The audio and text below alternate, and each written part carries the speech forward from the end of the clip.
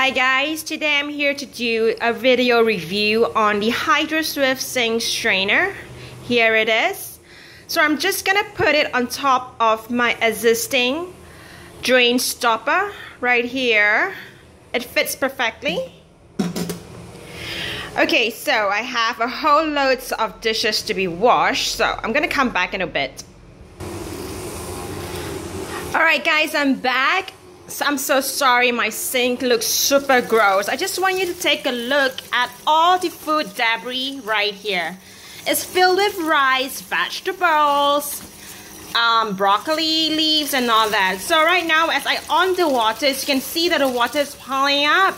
And I want you to take a look at this really quickly. Look at how all the food is clogging this sink up, but the water is still flowing wonderfully. And if you take a look at it one more time, the water is all gone. Despite the sink strainer, despite not being able to see the sink strainer, the water still flows through the food debris exactly the way what the product has promised. So yes, this product does do what it said it would. And maybe a